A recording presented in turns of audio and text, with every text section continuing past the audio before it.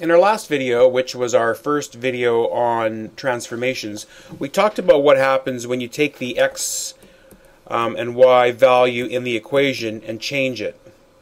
And the, change, the type of changes we made in the first video involved us replacing x with x plus or minus a number. And what we found in that case is that this caused a translation, a slide of the graph uh, h units horizontally and k units vertically. What I want to do in this video is look at what happens when I replace x with the opposite value or y with the opposite value or any combination of those. And so to do this, let's take um, a function that we're familiar with once again. This time I'm going to take the square root of x graph and I'm going to create some strategic points, points that I know well. So 0, 0, 1, 1, 4, 2, square root of 9 is 3. And so I know my graph looks like so. And what I'm going to do with my first transformation is I'm going to replace x with negative x. And so my equation becomes y equals the uh, square root of negative x. And so we've made a change in our x, and we still which means we still want to be able to get the y values out that we had originally. So let's put those in. And so to get 0 out, I have to be square rooting 0. And so negative 0 or positive 0 is still 0. Uh, to get 1 out of my equation, I know the square root of 1 is 1. But since there's now a negative in that place, I'm actually going to have to put negative 1 in to counteract the negative that's there already. So the negative of negative 1 will be the square root of 1, which will be 1. Okay, one more time. So we want 2 to come out of our square root, and so we know that what's in here has to be 4. But if there's already a negative in that spot, it won't do to put 4 in. We're going to have to put the opposite of that value in to counteract the negative that's there. And so we get negative 4. And similarly, negative 9. And so you see what's happened to the points in the table, and therefore on the graph, is that changing x to negative x has forced me to take the opposite x value from before to get the same y value. And when I graph those points, I'm going to notice that I get a reflection of the graph across the y-axis. And that's always true of replacing x with negative x. I get a reflection of the original graph about the y-axis.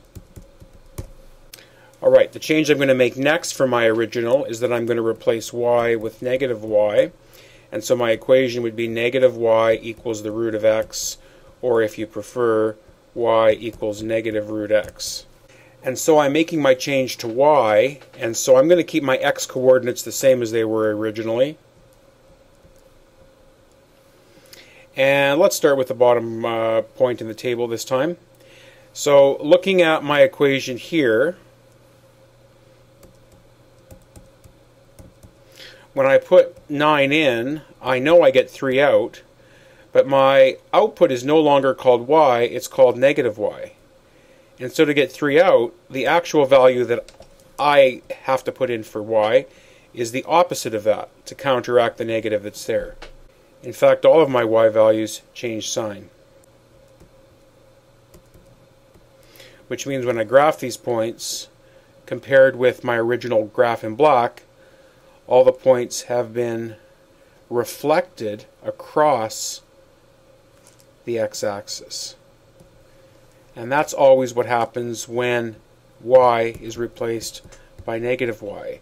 You get a reflection in the graph about the x-axis. And so finally, if I was to replace both x with negative x and y with negative y, so that my equation became this, or if you prefer to move the y on the negative to the other side, that's going to cause both the original x's and y's to switch sign. And so you could anticipate, well, that would be like a double reflection, a reflection across the x-axis and then the y, or the y and then the x. And in the end, the final graph would be over here. And so that graph can be considered as a reflection about two axes uh, consecutively. Or another way to look at it is a rotation of the original graph 180 degrees about the origin.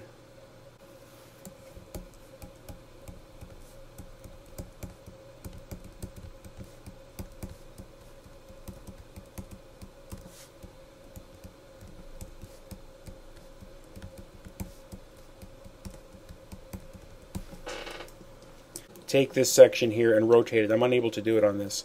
Rotate it and you'll see that it lands here. And so coming back to where we started, replacing x with negative x reflects the graph across the y-axis. Replacing y with negative y reflects the graph across the x-axis. And doing both of them creates a rotation of 180 degrees about the origin. And yes, this does apply to any graph. Just to convince you, Let's look back at this function that we talked about in the last video. We have our core points. And let's just do one of the changes. Let's replace x with negative x.